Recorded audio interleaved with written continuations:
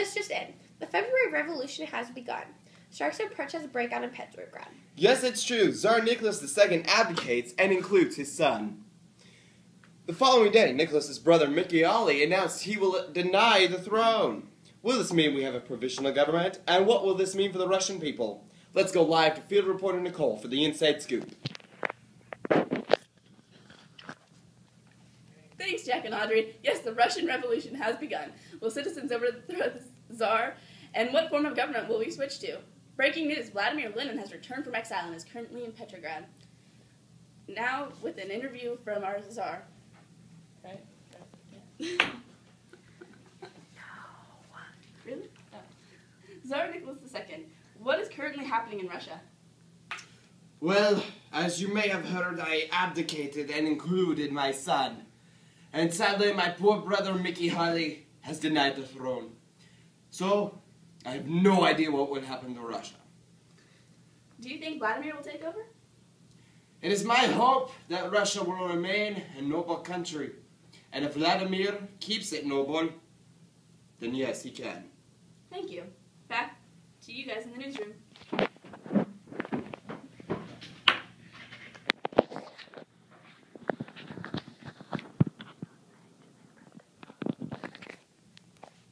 And in other news today, the president's dog had puppies. Ah! Wait. I'm getting another breaking news alert. Let's go back to Nicole out in the field. This just in, Russia will have a provisional government and the Russian people are not happy.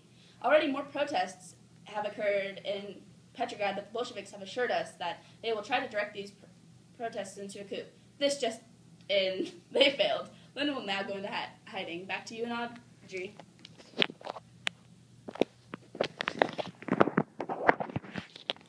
Well, thank you, Nicole.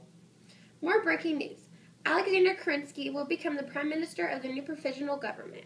And we have reached the October Revolution. The Bolsheviks have taken over Petrograd and the Winter Palace. Is the last holdout of the provisional government has been taken by the Bolsheviks, led by none other than Vladimir Lenin. Lenin is now in control of Russia. Let's go to Nicole, who has an interview with Russia's new leader.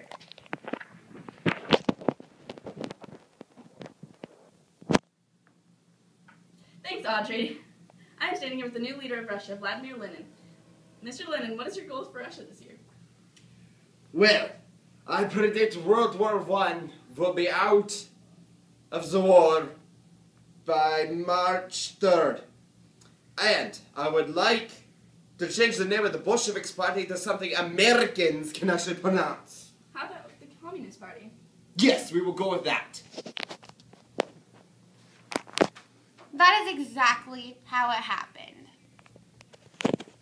Mr. Lenin, if I may ask, will St. Petersburg remain the capital of Russia, and when will Russians get a civil war? I would like to change the capital to Moscow by March 11th. And a civil war will begin in June of the same year. Back to you guys.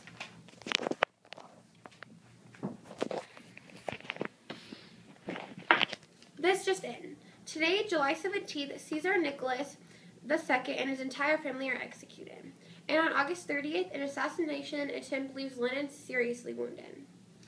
Right now, we have an interview with the different armies that are in supporting of the different sides of Russia the White Army and the Red Army. Let's go live and interview one of both armies.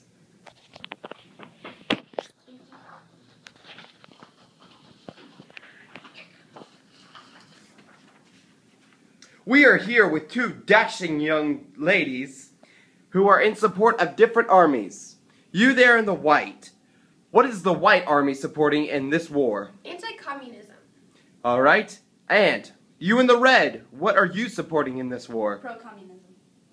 You heard it here first.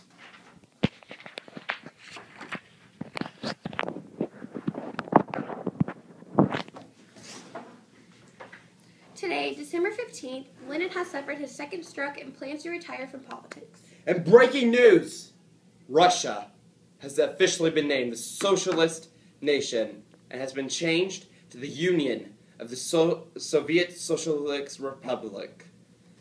Well, we have covered the Russian Revolution, Audrey. Thank you to Nicole out in the field, and thank you to Audrey here in the newsroom. I'm Jack Greenwood, and good night, folks.